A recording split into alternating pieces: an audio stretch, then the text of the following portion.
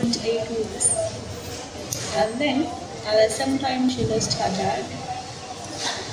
She became so stressed, it was her second born. And she didn't have breast milk at all.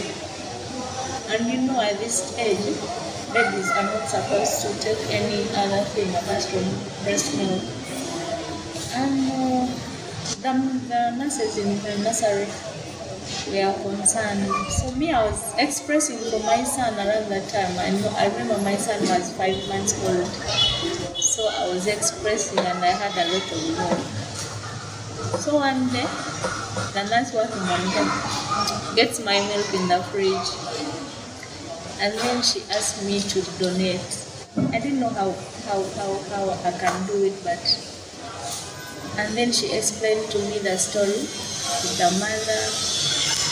I came and saw the baby in the NICU, and it was too small. So I just, my heart just, I said, freely given, freely give. That's how I started. So we talked to the mother. She had some two donors who were stressing her. One was in Gaza, one was in Mozilla, but picking the milk on the boda boda, she's post cesarean section. Was so stressful. So getting the milk in the hospital was very, very comfortable. So I donated, I think, like for two months. And the baby was discharged.